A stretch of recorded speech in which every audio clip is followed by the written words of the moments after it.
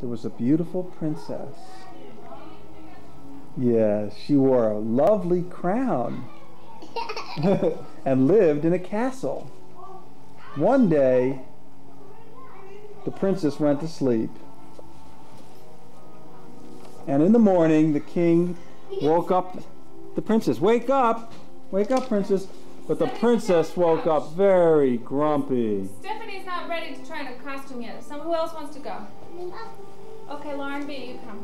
Okay, sit down. Why don't you want to do The it? You're princess. sitting down. Oh, Do it. You sit down here. The princess woke up very grumpy. Look. Look how grumpy she She said, I'm I'm never never gonna smile again. never gonna smile again.